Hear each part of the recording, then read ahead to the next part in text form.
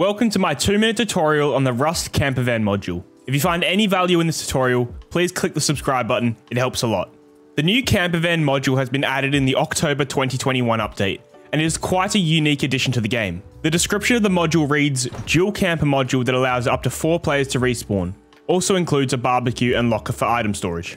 The module takes up 2 sockets on a vehicle and has a max condition of 525 hit points. Finding the part is the same as finding any other vehicle module part. Along the roads, broken vehicles will spawn that have random assortments of parts. Once you've found one of these broken vehicles that has a camper module on board, repair it with a hammer and resources, throw in some vehicle parts and get it going. Then drive it back to a vehicle lift to obtain the camper module.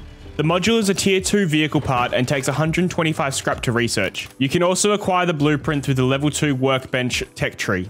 Once the blueprint is learnt, you can craft the module at a level 2 workbench for 175 metal fragments and 125 wood each. Once you have your camper van sorted, you can enter it by pressing E. The van stores 4 different beds, and by pressing E on an unclaimed bed, it will create a respawn point for your player. Same as normal sleeping bags, these respawn points can be renamed and also given to another player by holding E on them. You can also clear ownership of a bed through the same menu.